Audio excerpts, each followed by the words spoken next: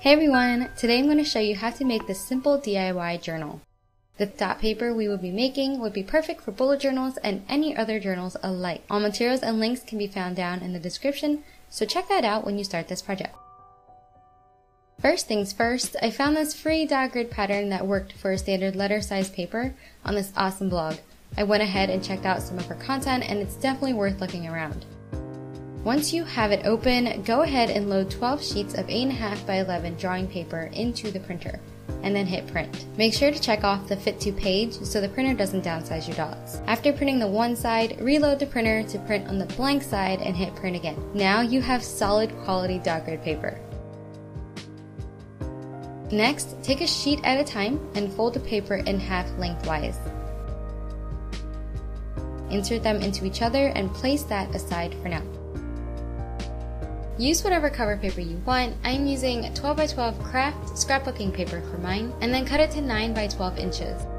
Fold it in half and then measure a half inch from the bottom. Cut triangles on a center fold and then crease the half inch flap using a bone folder or anything that has a dull edge. A butter knife works too. This will create a clean fold. I actually messed mine up and added a flap to the top as well, and as you'll see later, I'll be trimming that off.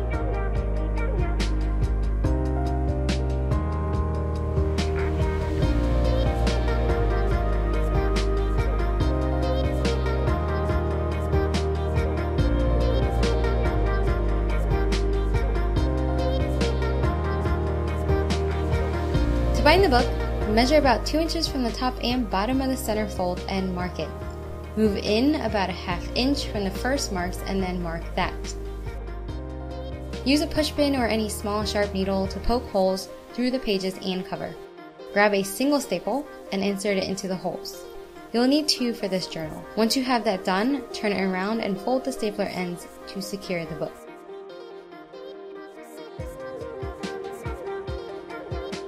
Now pull away the cover and trim off the excess paper to create a clean edge using an X-Acto or mat knife. Make sure the blade is sharp to produce a nice cut. Now fold the cover back over and mark where the paper hits the cover. Crease the line and then fold it in.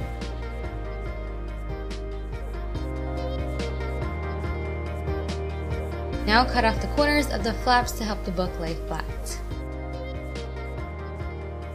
To attach the elastic, mark about an inch and a half from the top and bottom of the back of the book, and then mark about an inch from the side of the book. Create a cut that is the width of your elastic and then insert the elastic. Play around with the length until you're happy with the closure and then secure using hot glue. If you want, you can also cover the exposed ends of the elastic with another piece of craft paper to keep it super clean.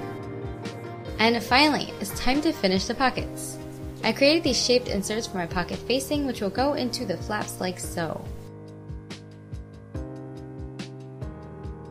Since I like to take things a step further, I printed on the pocket flaps using my laser printer and now I'm prepping it to be foiled. Using this reactive foil, I cut that to the size of the insert and put it into the sleeve I made by folding sketch paper in half. The sleeve will protect it from getting tangled in the laminator as it heats up the foil. So instead of buying the MIG press machine, I bought a laminator that basically does the same thing but at a lower cost. Feed that through the machine a few times until it bonds and now I have foiled stripes. It wasn't a perfect bond, but it looks pretty cool. Now use hot glue and secure the pocket facing into place. Close up your new journal using the elastic and you're done. Here's a final flip through of the journal. It lays flat and surprisingly the dots line up. I love how this turned out and I'm so excited to start my first bullet journal. Hopefully this will help keep me on schedule to be super productive.